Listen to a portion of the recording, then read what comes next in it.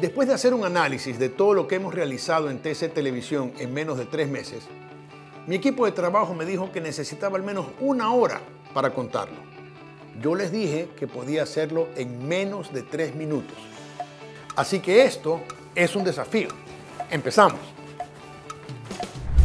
Logramos reducir gastos por 750 mil dólares desde junio de este año hasta febrero de 2022, anulando algunas contrataciones y renegociando otras. Incrementamos el presupuesto de ventas y el departamento comercial mejoró su rendimiento en un 23%. La Copa América nos dejó el 6% de rentabilidad. Recuperamos un pago del SRI por 250 mil dólares. Hemos refinanciado nuestros préstamos bancarios para reducir los dividendos hasta en un 50%. Ahora tenemos liquidez. Con esos recursos hemos hecho dos cosas separar en una póliza de acumulación el décimo tercer sueldo de todos los empleados de TC y equiparnos con recursos técnicos y humanos para mejorar nuestra eficiencia. En programación hemos recibido 59 propuestas de 17 productores independientes, de las cuales hemos aprobado 8 y 5 ya se encuentran al aire.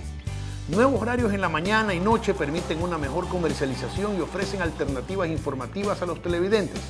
El rating de TC ha mejorado de una manera increíble hemos pasado del 21% en mayo a 26% en julio de consolidado nacional de personas.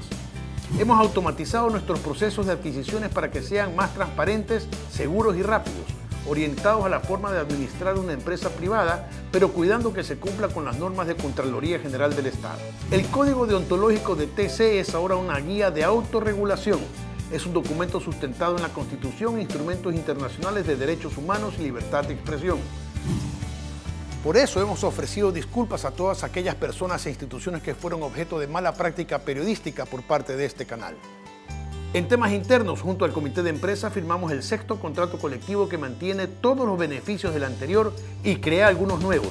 El 90% de los empleados ha recibido un 6% de aumento en sus sueldos.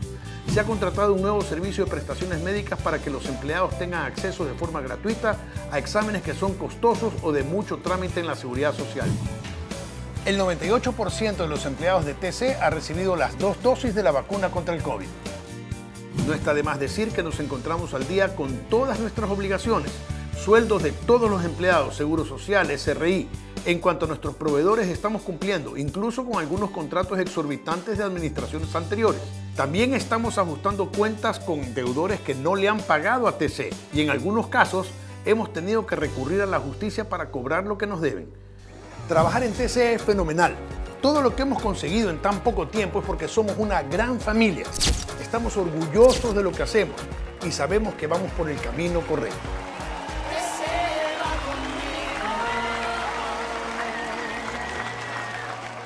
Uf, para los seis meses necesitaré mucho más tiempo, ¿no?